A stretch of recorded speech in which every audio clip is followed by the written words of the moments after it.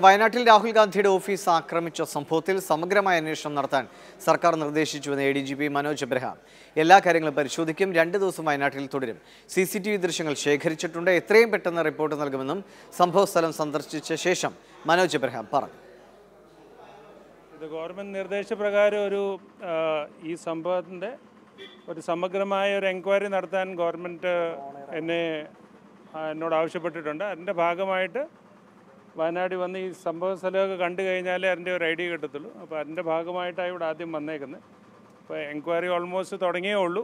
അപ്പോൾ ആ സംഭവ സ്ഥലം കണ്ടു കഴിഞ്ഞാലേ ഒരു ഐഡിയ കിട്ടത്തുള്ളൂ എങ്ങനെ സംഭവിച്ചെന്ന് പറഞ്ഞു.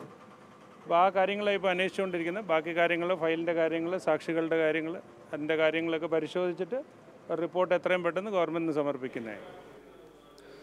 കമൽ വിവരങ്ങളുമായിട്ട്. കമൽ ഏതൊക്കെ ഉദ്യോഗസ്ഥരാണ് മനോജ് എബ്രഹാമിനെ ഈ അന്വേഷണത്തിൽ അസിസ്റ്റ് ചെയ്യുന്നത്? ഇതുമായി ബന്ധപ്പെട്ട് പ്രാഥമികമായി ശേഖരിക്കേണ്ട ഈ സി സി ടി വി ദൃശ്യങ്ങളടക്കം അതെല്ലാം അന്വേഷണ സംഘത്തിന്റെ കൈകളിലേക്ക് എത്തിക്കഴിഞ്ഞു.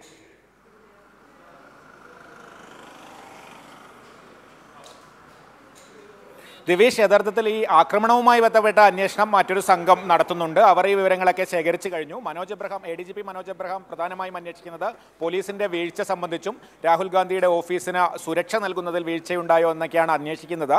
അദ്ദേഹം ഇന്ന് ഉച്ചയ്ക്ക് ശേഷമാണ് വയനാട്ടിലെത്തിയത്. ജില്ലാ പോലീസ് കാര്യാലയത്തിൽ ഉന്നത ഉദ്യോഗസ്ഥരുടെ യോഗത്തിന് ശേഷമാണ് അദ്ദേഹം ഈ ആക്രമണം നടന്ന എം പി ഓഫീസ് അന്വേഷിക്കാൻ എത്തിയത്. വയനാട്ടിൽ കുറച്ച് ദിവസമായി ക്യാമ്പ് ചെയ്ത ഈ അന്വേഷണത്തിന് മേൽനോട്ടം നടത്തുന്ന D I G Rahul R Nair അദ്ദേഹത്തോടൊപ്പം ഉണ്ടായിരുന്നു മറ്റ് ഉന്നത പോലീസ് ഉദ്യോഗസ്ഥരോടൊപ്പം സംഭവസ്ഥലം സന്ദർശിച്ച ശേഷമാണ് അദ്ദേഹം ഈ പ്രതികരണം നടത്തിയത്. അദ്ദേഹം എ ഡി ജി പി രണ്ട് ദിവസം കൂടി വയനാട്ടിൽ തുടരുമെന്നാണ് പറഞ്ഞിരിക്കുന്നത്. പരമാവധി വിവരങ്ങൾ ശേഖരിക്കും. സി സി ടി വി ദൃശ്യങ്ങൾ പരമാവധി ശേഖരിച്ചിട്ടുണ്ട്. ഇനിയും എവിടെ നിന്നെങ്കിലും ലഭ്യമാകാനുണ്ടോ എന്ന് പരിശോധിക്കും എന്നാണ് പറഞ്ഞിരിക്കുന്നത്. എന്തായാലും എത്രയും പെട്ടെന്ന് അന്വേഷണ റിപ്പോർട്ട് നൽകും എന്നാണ് എ ഡി ജി പി അറിയിച്ചിരിക്കുന്നത്. ശരി കമൽ